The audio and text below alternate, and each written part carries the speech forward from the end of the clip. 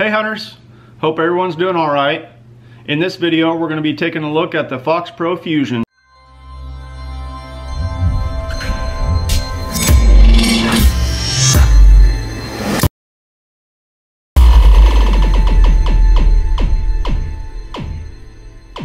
I've been using the Fox Pro Fusion setup for a little over a year now with a lot of great success.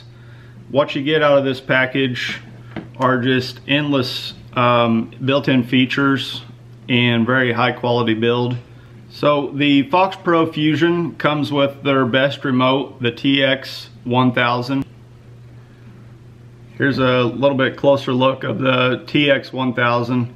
It has very large uh, buttons that you can get real familiar with. Uh, they do backlight. I'm going to try to get a closer view in some darker conditions here for you in just a little bit and try to sh uh, show that for you on this video. Um, but the way the buttons are laid out, you can get familiar with where they're at without even having to look down. So you can keep your eyes out in the field and just kind of touch and feel where these buttons are and the ones that you use the most. Uh, you're going to be able to memorize that and not even have to look down at the remote unless you're uh, scrolling through looking for your next call. So now we'll just take a little closer look at the actual call itself. On this you'll find that it has a nice carry handle here at the top which is easy to take it in and out of the field with but what I've done it has these spots here to where you can utilize a lanyard or just a strap. What I did was I took a strap that I was no longer using for, from a set of Vortex binoculars and I just put that through those lanyard holes and that's very easy just to sling right over your shoulder and carry it in and out of the field. On this you're going to find your volume and your actual on and off switch right here. Another nice thing about the Fox Pro Fusion is say you got to the field and your batteries were dead in the actual remote, uh, the handheld remote itself, or you just simply forgot the remote. Um, the nice thing is you can use this actual unit without that remote being with you. Now, as we all know, it would have to be basically sitting right next to you, or you could start the call and then just simply walk back to your stand or your seat uh, to finish your hunt and let the call run. But to be able to switch between calls without that remote, it's gonna have to be right next to you. I'll just go through a quick showing of how that works. Uh, you would flip that switch there, turn it on, and this will control your, your volume right here. Um, and I'll show you here how it works without using the actual handheld remote and uh, hopefully the dog here behind me doesn't freak out. But what you would do is once you get these uh, three hash marks up, you would just hit your up button. You would kind of have to memorize what calls what. But you can see with each one,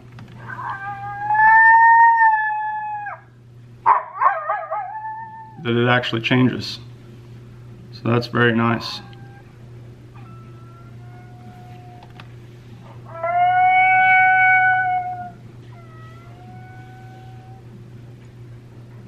Go ahead and turn that down. But anyway, you would just have to know, you know, this is one through however many calls you have stored in your system. Uh, you would just scroll to whatever you want, let go of it, and it's going to start. Another nice thing about the Fox Pro Fusion is say you got to the field and your batteries were dead in the actual remote, uh, the handheld remote itself, or you just simply forgot the remote. Um, the nice thing is you can use this actual unit without that remote being with you. Now, as we all know, it would have to be basically sitting right next to you, or you could start the call and then just simply walk back to your stand or your seat uh, to finish your hunt and let the call run. But to be able to switch between calls without that remote, it's gonna have to be right next to you. I'll just go through a quick showing of how that works. Uh, you would flip that switch there, turn it on, and this will control your, your volume right here. Um, and I'll show you here how it works without using the actual handheld remote. And uh, hopefully the dog here behind me doesn't freak out. But what you would do is once you get these uh, three hash marks up, you would just hit your up button. You would kind of have to memorize what calls what. But you can see with each one,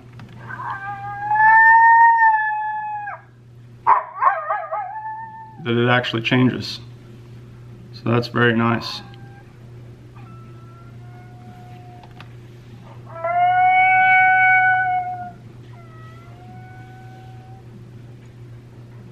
Go ahead and turn that down. But anyway, you would just have to know, you know, this is one through however many calls you have stored in your system. Uh, you would just scroll to whatever you want, let go of it, and it's going to start. Some more nice features on the actual call itself. You'll notice these four black covers. Those are actually plug-ins for various things. Uh, this down here is for a wall charger. So you can plug that directly in and charge the batteries through this access right here.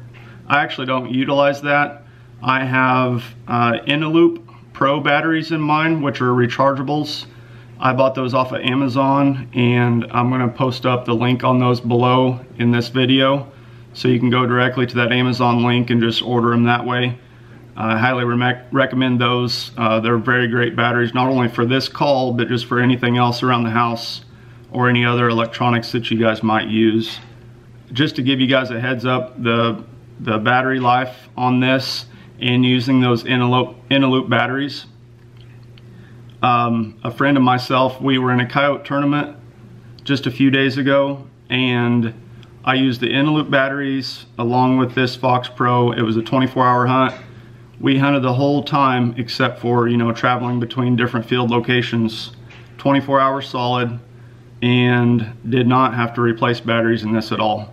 So what I just went through, those sound, sound files right there, that's on the same set of batteries from 24 hours straight use. Uh, the next little black flap is the rear external. Um, so you can actually hook up, this has a rear speaker on it, and then your front cone speaker. The front cone speaker is the one that I utilize the most. You're just gonna get a lot louder, uh, a lot clearer quality, use a lot, utilizing this front cone speaker. Uh, the next flap here is an auxiliary input. That's if you're using some sort of external uh, decoy. The next flap here, the last flap, that is for your front external speaker. So not only do you have your rear speaker, your front speaker, but you can also plug in external speakers that Fox Pro makes, or you can use any other speakers that you want that would just simply plug in here to give you more directional output along with um, louder capabilities utilizing more speakers. And then one other nice thing, uh, you do actually have a low battery indicator right here. So that's gonna come on when your batteries start getting low. Now we'll just take a look at the actual handheld remote itself, the TX1000. I'm going to try to demonstrate here by turning off the lights and showing you um, just a quick display on this and how these buttons are backlit. So here's the remote. Hit the on button. Hopefully we can get this in focus here. There we go. These are perfect for night hunting. You can change how bright and how dim these are. And there's different settings for your screen as well. So right now this is all white. This is in uh, daytime setting. I'll try to show you here.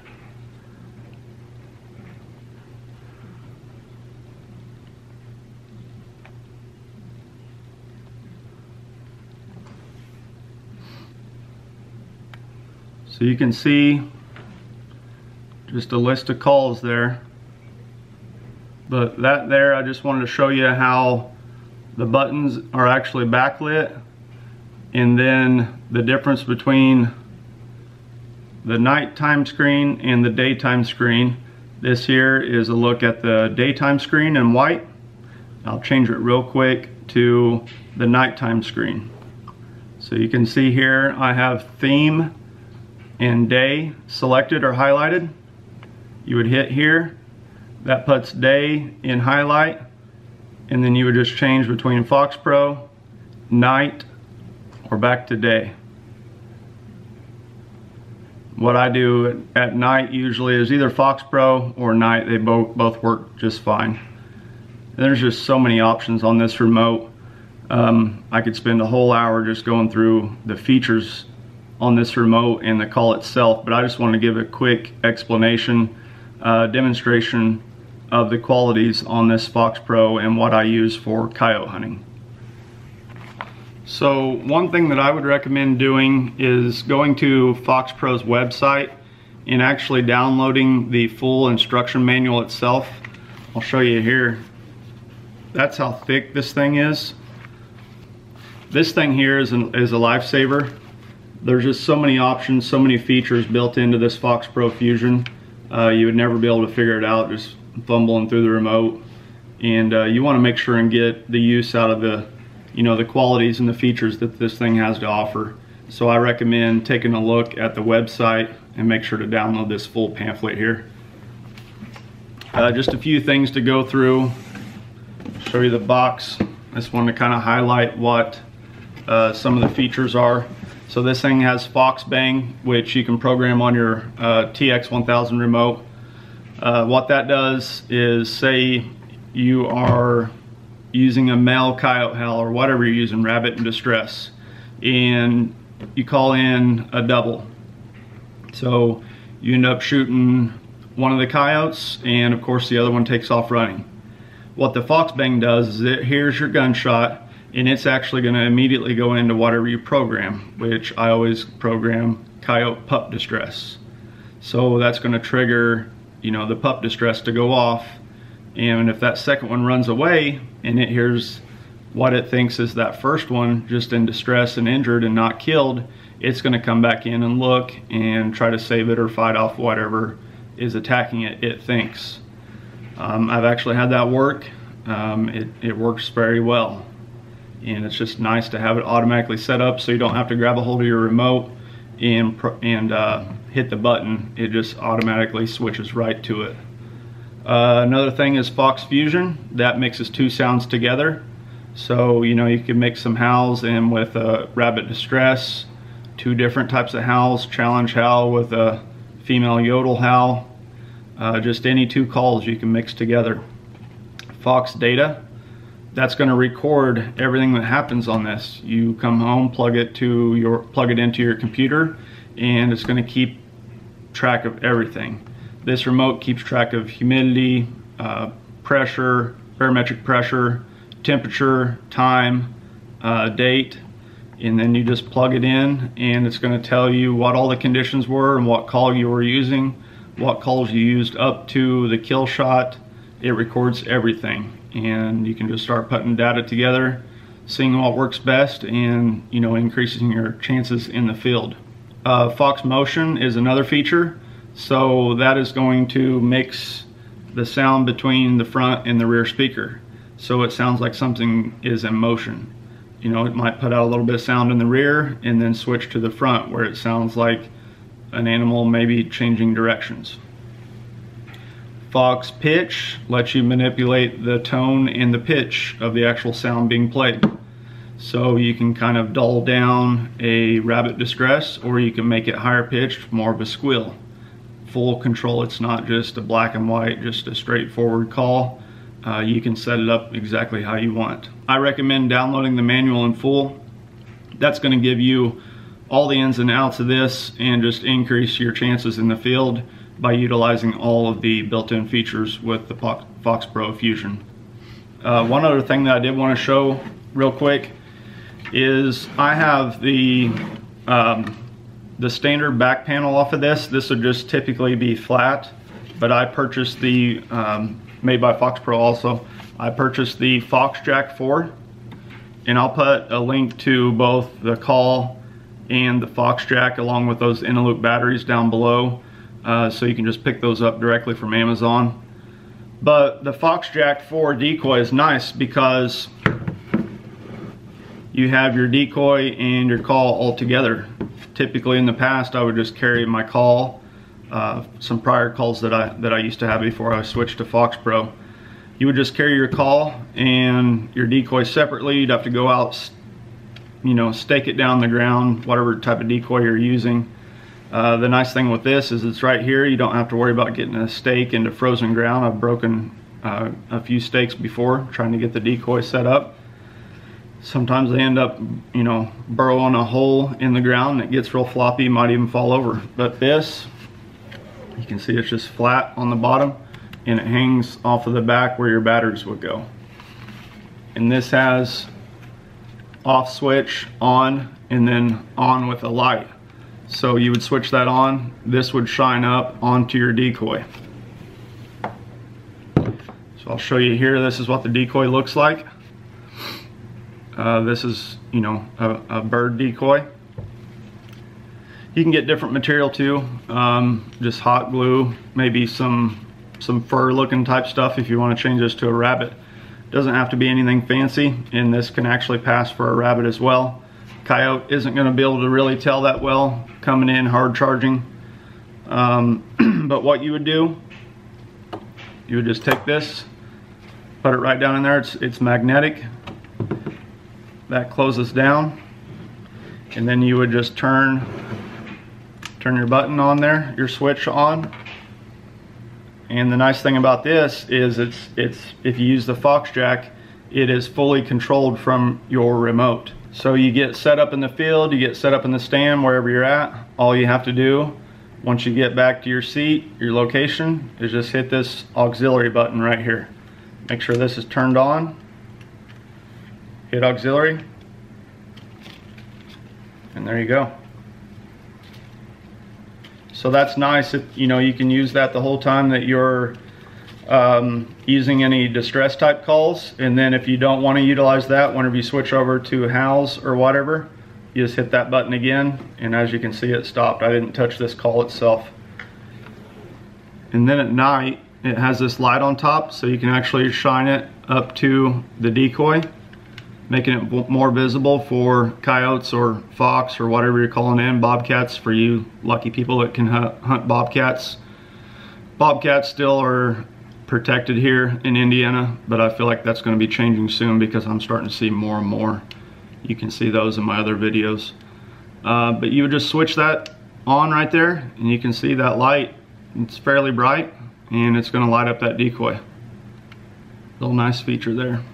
So hopefully this review helps some of you guys that are looking to, you know, make a decision on what uh, direction you're going to go with electronic caller. I highly recommend Fox Pro very good quality, tons of features, uh, a lot of features that you know a lot of people probably won't even utilize, but there's just so many so many features on here that can be used to increase your odds at each stand. If this review was helpful to you guys, which I hope it was, if you don't mind just to subscribe and hit that notification bell and just follow along. Um, hopefully you guys have better odds by utilizing the Fox Pro. And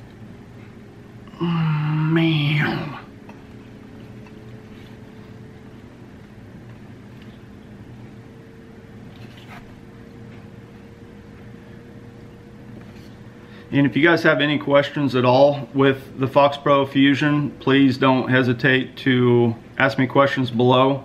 I try to check those as often as I can, help each other out here. It is uh, self-gratifying for me just to see some of those comments uh, from you guys that have watched past videos.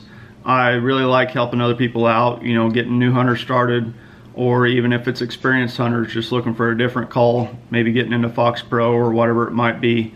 Um, I'm willing to help anybody out that's willing to listen, and um, I'm still learning every day, and uh, that's the fun part about it. Is uh, there's just endless opportunities, and uh, hopefully this review helps somebody out and don't hesitate to ask any questions. As always, happy hunting. Can't beat it. Thanks, guys.